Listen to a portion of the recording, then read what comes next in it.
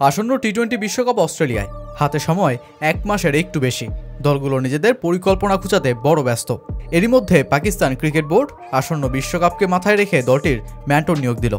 গত বিশ্বকাপের মতন মেথু হেইডেনকেই আবারও পাকিস্তান ক্রিকেট দলের ম্যান্টর হিসেবে নিয়োগ দিল পিসিবি। অস্ট্রেলিয়ার মাঠ জয় করে ট্রফিতে চোখ দিতে চান বাবর রিজওয়ান্ডা গত বছর সংযুক্ত আরব আমিরাতে টি টোয়েন্টি বিশ্বকাপ হওয়ায় বাড়তি সুবিধা পেয়েছিল পাকিস্তান।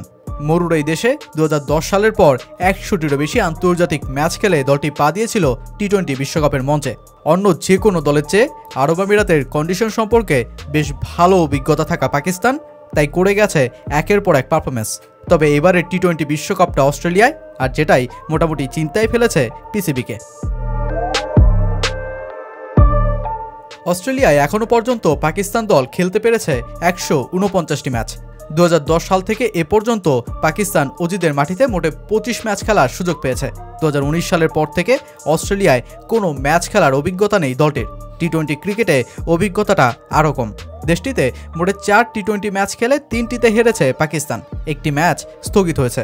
এমন নরবরে ভিত নিয়ে অস্ট্রেলিয়ায় টি টোয়েন্টি বিশ্বকাপে ভালো খেলাটা বেশ কঠিন। তাই তো অস্ট্রেলিয়ার সাবেক ক্রিকেটার মেথু হেইডেনকে পাকিস্তান তাদের মেন্টর হিসেবে নিয়োগ দিয়েছে। গত টি টোয়েন্টি বিশ্বকাপে পাকিস্তান দলের মেন্টর ছিলেন হেইডেন। সেবার সুপার টুয়েলভে পাঁচ ম্যাচের সব কয়টাতে জিতেছিল Pakistan. Bharat, Afghanistan, New Zealand, Scotland ও নামিবিয়াকে হারিয়ে বিশ্বকাপের ট্রফি দাবিদার বনে গিয়েছিল দলটি। তবে সেমিফাইনালে অস্ট্রেলিয়ার কাছে হেরে বিশ্বকাপের স্বপ্নভঙ্গ হয়।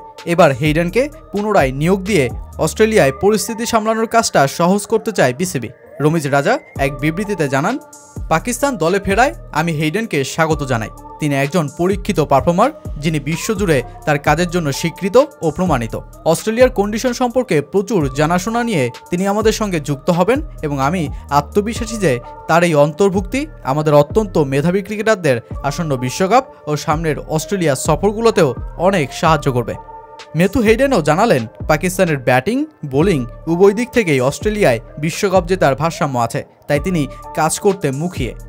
এশিয়া কাপে পাকিস্তান কীভাবে পারফর্ম করছে তা আমি দেখছি এবং ভারতের বিপক্ষে গত রোববারের জয়টা ছিল অসাধারণ। আমি মনে করি অস্ট্রেলিয়ায় সেরা হওয়ার জন্য যা দরকার সেটা পাকিস্তানের আছে, ব্যাটিং ও বোলিং উভয় দিক থেকে। এই দলটি সব দিক থেকে ভারসাম্যপূর্ণ এবং আমি নিশ্চিত যে তারা সংযুক্ত আরব আমিরাতে গত বছরের মতো এবারের বিশ্বকাপেও আলো ছড়াবে। বিশ্বকাপের আগে নিউজিল্যান্ডে হতে চলা ত্রিদেশীয় সিরিজের দায়িত্ব নেবেন হেইডেন। বাংলাদেশ, পাকিস্তান, নিউজিল্যান্ড এই তিন দলের সিরিজে দলকে আরও পরীক্ষিত করে অতপর পাড়ি জমাবেন অস্ট্রেলিয়ার উদ্দেশ্যে।